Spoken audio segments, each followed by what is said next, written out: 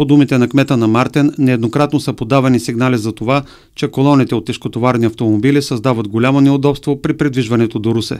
В тази посока ни изявяваме желание и настояваме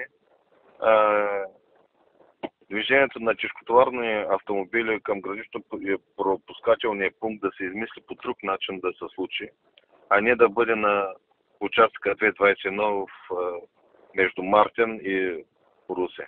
По проста причина, че а, не можат, а, няма как и да преминат а, а, автомобили с а, специализиран режим на, на движение като патрулки, линейки, пожарни.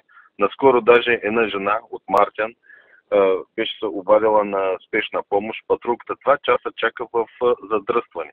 И не само това, родители, родители, когато пускат ученици, те седат в задръстване, по-късно се прибират. Работещи закъсняват за работа.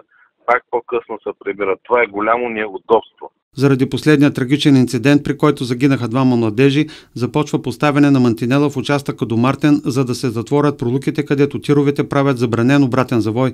Това означава, че ще извършват маневрата на разклона за Мартен и ще създават предпоставки за инциденти. Това е още една причина жителите на Мартен да искат тежкотоварните автомобили да изчакват по булевард България. Пак в нашия случай там са три лентината, от която е изчакване посока вход на Мартен. Другите две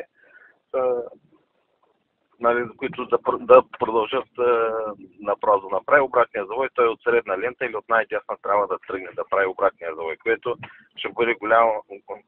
С две думи преместваме проблема на разклона на Мастен. Това се случва. Ако ни просто отлагаме неизбежното да стане поредното пътно-транспортно происшествие на разклона на Мастен. Затова трябва да се вземат нормални адекватни мерки аз се надявам, че общината ще го вземе при сърце. Очаква се в среда да се проведе среща при областния управител, където ще бъдат обсъдени всички възможности за облегчаване на движението по пътя за Мартен, за да не се създават предпоставки за инциденти.